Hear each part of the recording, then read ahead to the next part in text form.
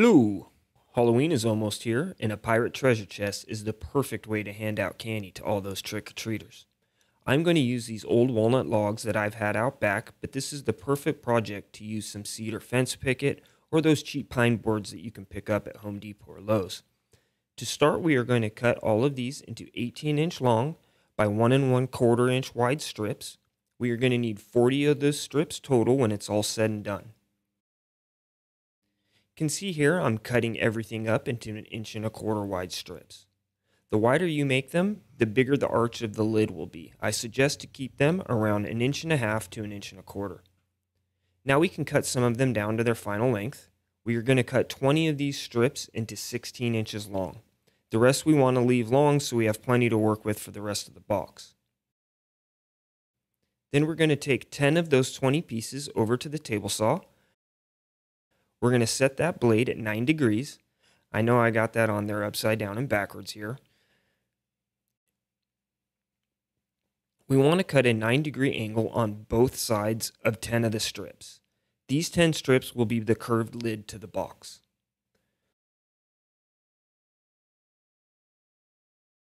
Once you get all of those cut up, we can get them taped together. I suggest to line it up against the table saw fence. That way you can keep them all straight and square. And once we get all the pieces taped together, we can get the glue in all of the grooves. Try to spread it around in there evenly with the brush to make sure that it's nice and evenly coated. It was a little too wide to get my hand all the way across, so I ended up having to put a couple layers of tape to get it tight. I then let that sit overnight before taking the tape off. It was a little bit of a struggle to scrape the squeezed out glue off the inside where it's concave, but it wasn't too bad. It took me about 10 minutes. Next, we are going to get the strips laid out for some small panel glue ups. First, we have the front and back panels. These were the other 10 strips that we cut to 16 inches long. We'll need 5 strips for each panel. We can get both sides of the box out of one panel of 5 strips. The box's bottom panel is made of 6 strips, and both sides of the lid can be made out of 3 of the strips. Once we figure out what orientation we want all the strips to be in, we can start gluing up some of the panels.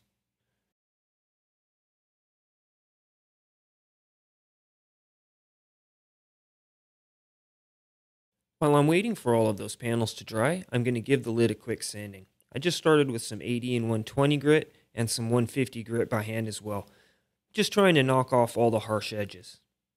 Once the panels are dry, we can get them all out of the clamps, and then we can mark out the lid side pieces. Start by putting a mark to identify which piece is for which side, then I just trace the inside on both ends of the lid.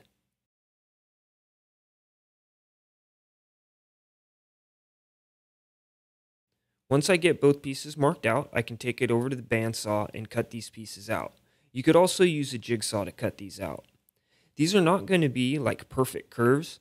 There's going to be 10 straight lines on each piece. By following the straight lines on the bandsaw, it will fit much better into the lid.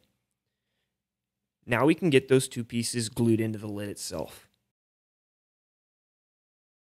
Once we have the lid done, now we know exactly how wide we need to make both of the side pieces of the box. We can come over to the table saw and cut both of those pieces to size. Then we can do a dry test run and see how everything is going to fit and line up. It's looking pretty good.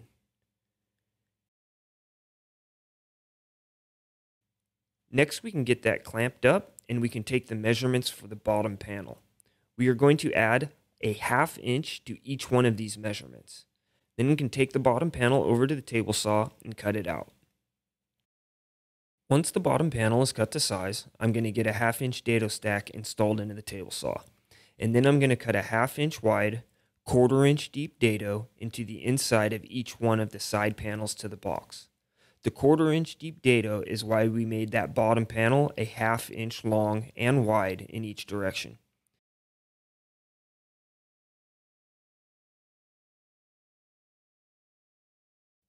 Next, we can put the sacrificial fence onto the table saw and we can cut the rabbets in that bottom panel.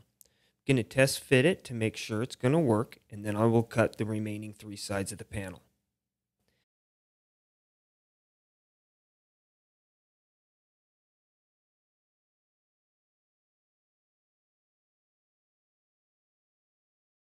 Then we can get the box all glued and clamped up.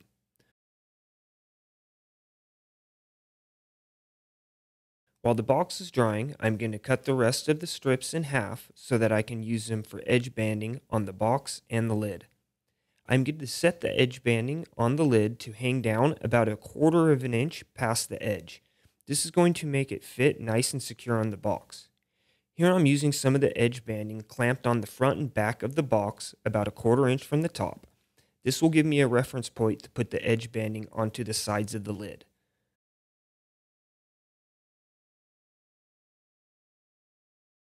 Once I get both side pieces on the lid, I can get the front and back pieces installed using the same technique.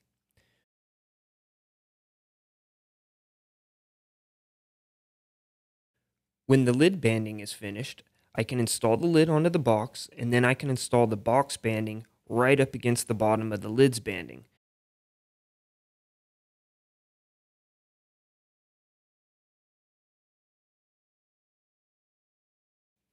Then I can give it a quick sanding to clean up all the edges and make sure everything is lined up correctly. Now we can put the remaining edge banding around the bottom of the box. Technically, when you're building a box, you would want to use a router and not cut that dado all the way through those panels. But I'm not building an heirloom piece here. I'm just trying to make this a super simple, fun project and not get too technical.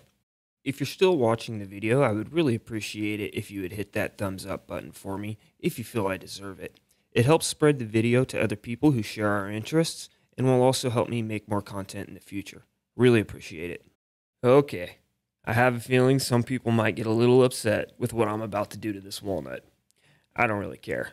I'm going for a distressed look here. When I imagine a pirate treasure chest, it's been through at least a couple sword fights. It's probably been buried in the ground for a while. It for sure looks pretty beat up. So first I'm going to take an angle grinder and I'm going to cut some slashes into it. And then I got a lag bolt here and I'm going to hammer the threads into the wood to make some interesting marks. And then next I'm going to take a hatchet here and I'm going to cut some notches into the edges, make it look like it has had some big chunks taken out by a sword blow or maybe just getting knocked around on the boat while it's been out at sea. And then for the best part, I get to play with, I mean, use a blowtorch in a really responsible way to put some burn marks on it. Note that I do have my fire extinguisher right here handy, just in case. If you're ever going to build a piece with a distressed look like this and are going to use a blowtorch, I have found that it looks best if you concentrate on all of the corners and the edges with the blowtorch rather than going all over the piece if you can help yourself. Every time I make a distressed looking build, I always seem to go a little overboard with the blowtorch. I will definitely freely admit it is my favorite part. Now we can go back and we can start sanding it all down again. Mainly, I want all of the black scorch marks to stay in all the slashes and the grooves, but I will leave some random marks on the piece for some aesthetics. Now we're going to get a nice oil finish put on. I'm using the Natura 1 coat for this finish.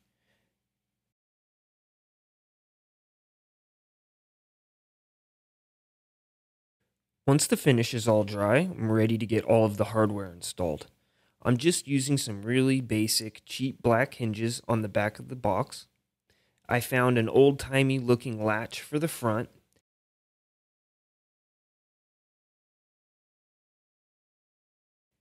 And then I found these little rivet upholstery decorations that I nailed into the edges. Lastly, I installed some cheap black handles.